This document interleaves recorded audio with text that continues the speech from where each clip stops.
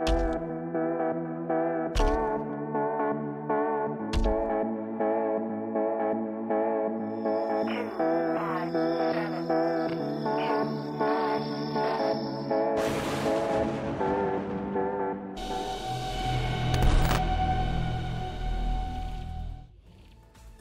gente, bienvenidos a un nuevo episodio acá en el canal. Ya me conoces, soy tu amigo Pinceladas.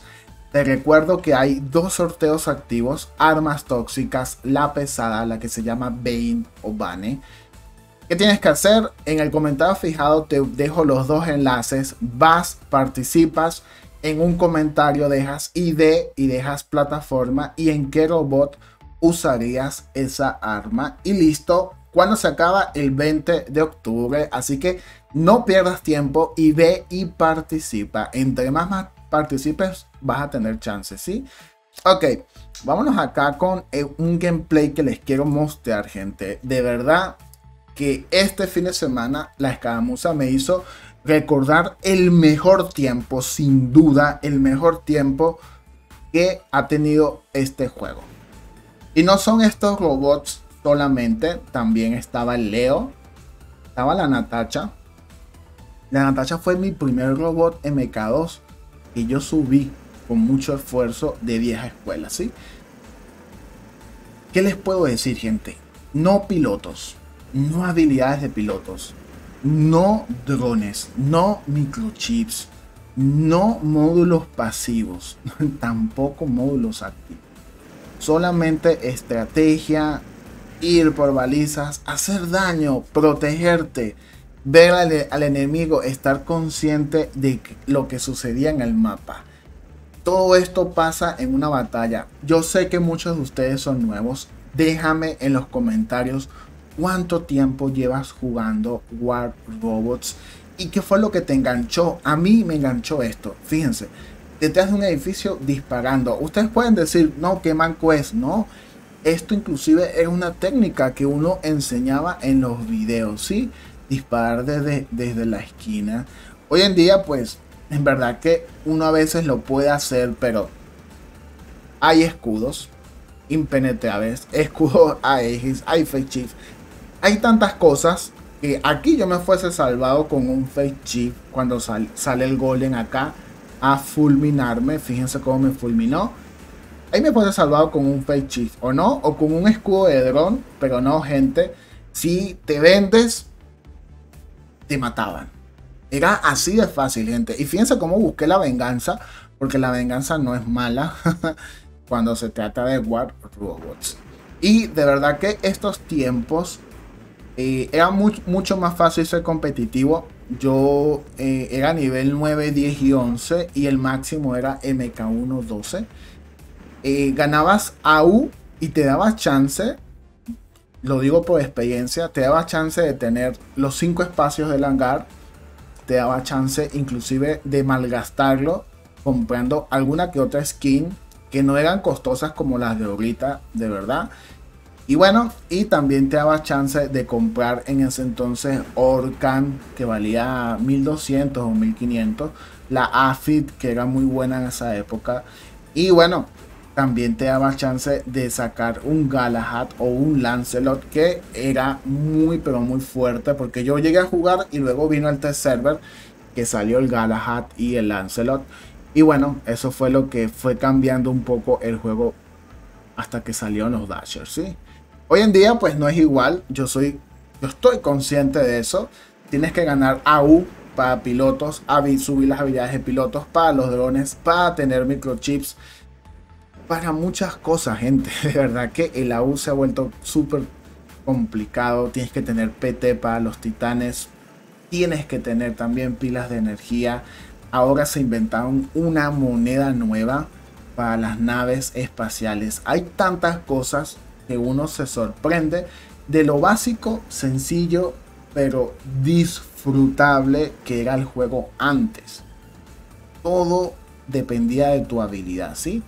Todo dependía de tu habilidad y del trabajo en equipo. Hoy en día, pues, ejemplo esto, se los, recuerdo, ejemplo esto.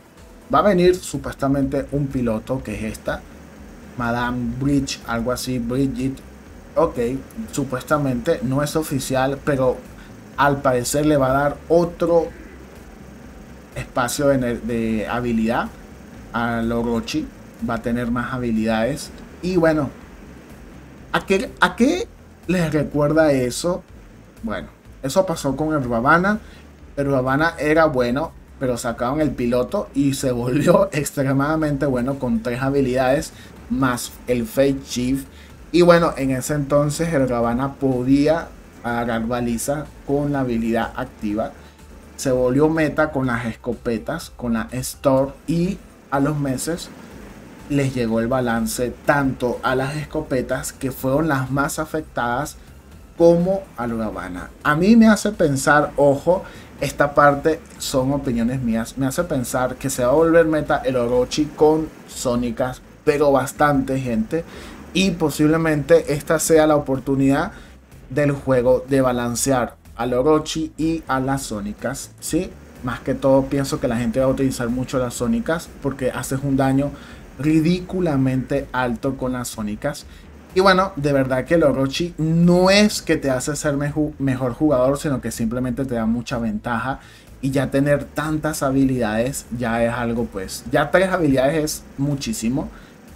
Y bueno, déjame tu opinión, ¿qué piensas? Por allí dicen que el que no aprende de la historia está condenado a repetirla así. Y nosotros estamos así. Por allí he visto bastantes, bastantes eh, los hangares de ustedes y veo que hay muchísima gente que tiene Revenant, Fafnir o Rochi. Que bueno, ya sabemos que siempre esa clase de meta castrosa, fuerte, imponente, es la que el juego balancea drásticamente, ¿sí? Pero bueno, gente, de verdad que disfruté muchísimo esta escaramuza. Jugué, uy, jugué como 10, 20 veces y luego volví a jugar porque bueno, algunas partidas eran cortas y otras eran largas como estas. Fíjense esto de disparar desde la esquina, no sé si ustedes, yo me acuerdo que yo lo aprendí en un video de Adrian Chon. Se llama Corner Shoot, algo así en inglés. Y era una técnica, gente, una técnica muy buena. Si te lanzaban misiles con daño por salpicadura, te jodías. Pero es una técnica muy usada antes. De verdad que era algo que pues la gente pro lo usaba. Eh, y era bastante, bastante divertido jugar así. Obviamente que luego cambiabas la boa. Yo la usé con Taran y la usé con Thunder. Y poco a poco ibas mejorando, cambiando un Leo, una Natacha, un Griffin que era súper, súper, súper eh, bueno en esa época. Me despido que la sigas pasando bien. No se te olvide darle like. Like si te gusta esta vieja escuela. Y nos vemos en un próximo episodio. Ojito, comentario fijado. Hay dos sorteos. Ve y participa para que tengas chance de ganar. Y que no se te olvide explicar en cuál robot usarías esa arma tóxica pesada. Se les quiere gente. Bye bye.